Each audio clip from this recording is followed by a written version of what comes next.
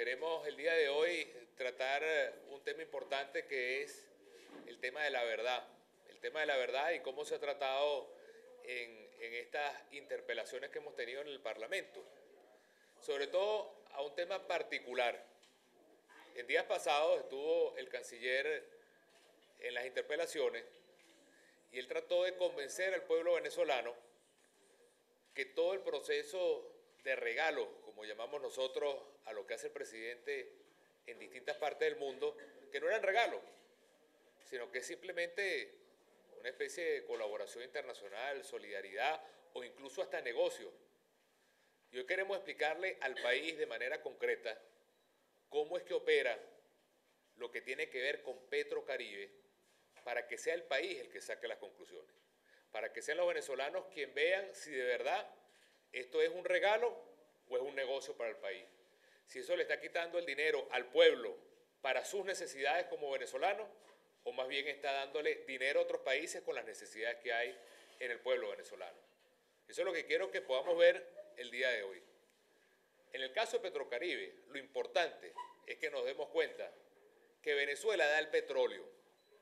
Y ese petróleo, en algunos casos, llega a haber un descuento, es decir, no se paga entre un 50 y un 60%.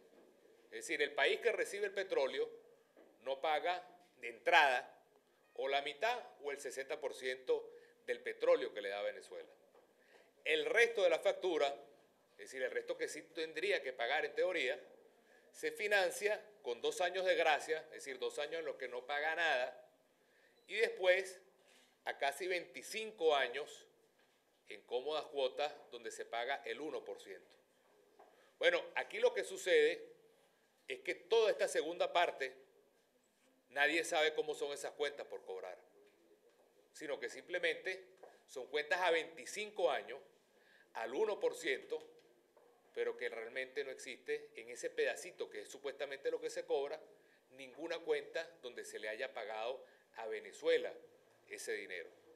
Dígame usted si eso no es un regalo o no.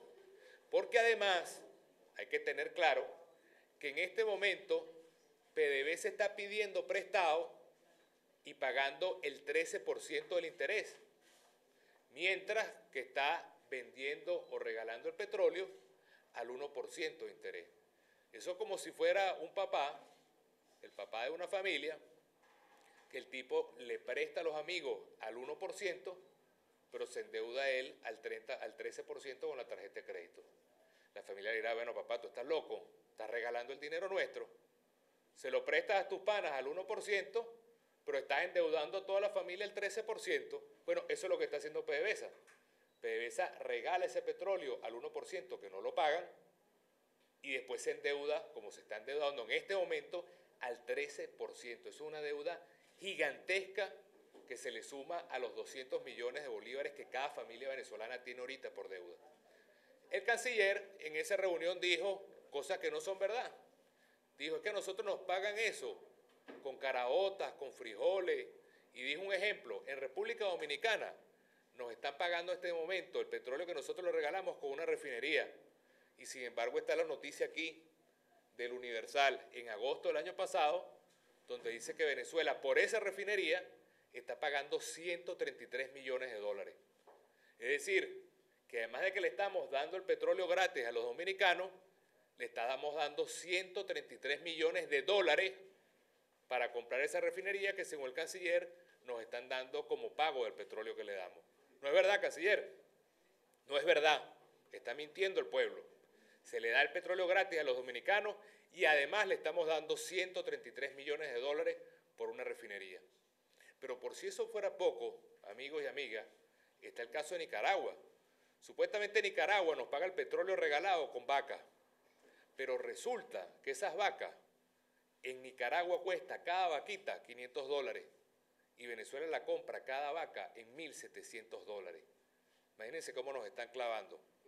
Que Venezuela supuestamente debería recibir esas vacas gratis y la está recibiendo tres veces el precio que venden esa misma vaca en Nicaragua. 500 dólares en Nicaragua, 1.700 dólares para Venezuela. Eso no está bien. Incluso así será el manejo que tiene el presidente Daniel Ortega del petróleo, que se ha planteado hasta suspender el envío del petróleo a Nicaragua porque él lo que hace es hacer negocios con el dinero que Venezuela le regala. Ni siquiera le llega al pueblo nicaragüense. Nosotros lo que queremos dejar claro hoy, que ese manejo, señor canciller, sí son regalos. Se le está regalando dinero a muchos países, especialmente a Cuba, y esos países lo que hacen incluso es vender el petróleo que nosotros le regalamos para ganarse doblemente el dinero que nosotros le damos. Y nosotros queremos dejar claro, solamente con lo que se le da a Cuba y a los países de Petrocaribe, bastaría para pagarle el tique o el cestatique a los jubilados venezolanos. Con menos de lo que se le regaló a Cuba y a otros países del Caribe, da para pagarle a los mil, al millón setecientos mil venezolanos que están en pensión un cestatique a cada uno de ellos por un año de 500 mil bolívares mensuales. No hace falta seguir cobrando impuestos, no hace falta débito bancario o impuesto al lujo o subir el IVA.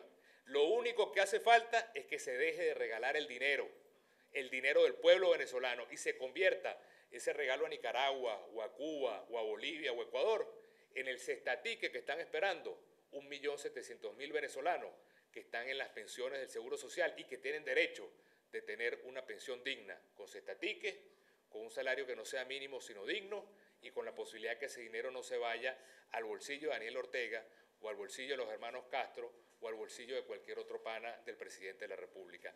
Eso es pensar primero en Venezuela y ese es el camino que merece el pueblo venezolano.